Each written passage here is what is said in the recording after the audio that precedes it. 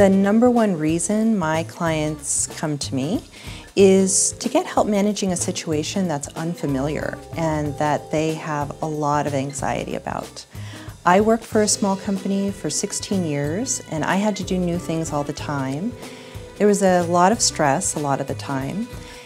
I managed transitions myself through multiple promotions and increases in duties, starting a family and parenting, uh, eventually handling executive responsibilities, and being a caregiver for someone very sick. And last year, I did all of those things at the same time.